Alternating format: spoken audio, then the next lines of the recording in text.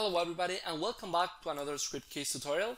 Fred here from Scriptcase. Today I'm going to show you the new features of Scriptcase 9.6. In this case we're going to getting started with the forms features.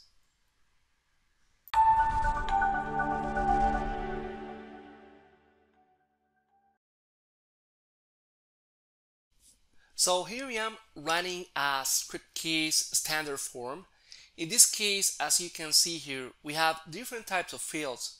And actually all these fields have a different size. So the size is obtained from the number of characters of each field. You can easily set this uh, size manually. Remember that you can locate that setting at the fields option of your Scriptcase form. So what I'm going to show you right now is just the new option of Scriptcase 9.6 that actually is really interesting and really easy to use. Basically allows us to use 100% width in every single field of my form. So here I am at my Scriptcase development environment. Let me show you here I'm using Scriptcase 9.6. Okay, so basically this option is really simple to enable we need to go to the settings. Then we need to scroll a little bit here and uh, we have here this option that says input 100% width. Let's go ahead and enable it. Let's try on our form. And uh, as you can see here we have all the fields using 100% width. So this is pretty interesting because in a single step we can apply these settings to all our form fields. And even if you have tabs like this case uh, as you can see this setting is also applied over here. So the second option that I want to show you right now is the calendar labels okay? If you pay attention here we have uh, this watermark or this label it's uh, kind of irregular since all the fields are with 100% width. So we can uh, use a new option for remove this and instead of this we can also use a watermark. So let me show you how it works. Let's go here to our Scriptcase, let's go to the fields option and now we need to select a date type field. So let's go ahead with this one right here.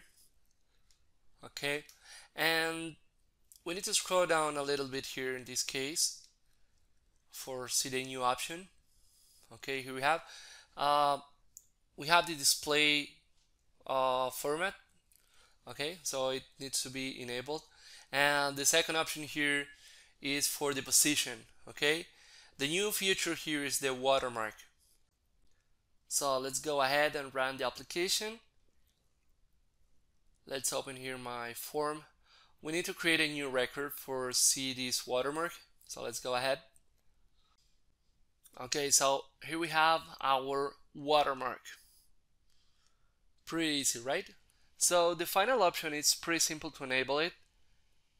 It is also related with the forms and actually with the labels. Actually, it's a label below the field, okay? So we can, for example, make some kind of suggestion for the final user to make the filling process easier.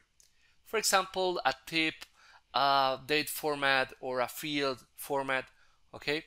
So for enable this option, we can go to any kind of field of our forms and we'll see this option right here labeled below the field and let's go ahead. Let's just enter this sample right here.